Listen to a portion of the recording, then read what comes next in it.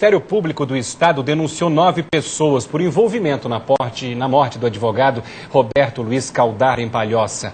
Entre os acusados estão cinco policiais militares, um empresário e um segurança particular que já estão presos. Os outros dois denunciados, também um PM e um segurança particular, ainda devem ter prisão preventiva decretada. As denúncias são de lesão corporal grave seguida de morte e ameaça. O advogado de 42 anos foi morto a socos durante uma briga generalizada no dia 24 de maio, quando defendia clientes numa falsa reintegração calma, calma, de posse calma. na Barra do Aririú. Agora, a primeira vara criminal de Palhoça decide se acolhe ou não a denúncia contra os envolvidos.